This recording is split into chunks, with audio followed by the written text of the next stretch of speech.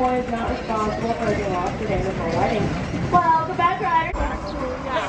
Welcome to Cedar Point. We hope you enjoy your day. I know. I just never understand. Like, just